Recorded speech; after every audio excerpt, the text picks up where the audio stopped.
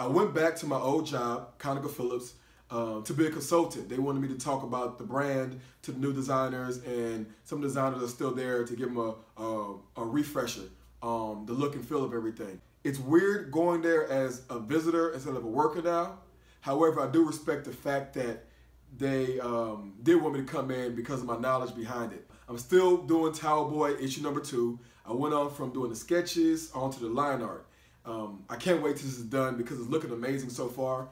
Um, what I'm gonna be doing is periodically I'm gonna be sending these um, pages to Martellus. Martellus is either gonna send me the revisions or he's going to approve them, and we keep moving from there.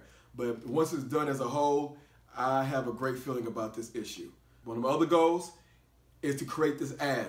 This ad is me featuring my services as an illustrator.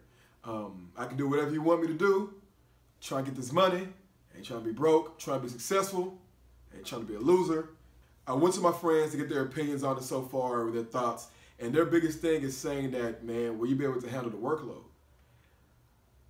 It's going to be a lot of work that comes in if this is done right. It's going to be something that I'm going to have to adjust myself in order to take care of it. Um, I'm planning out, I'm creating these ideas, but um, I'm very confident I can make it happen.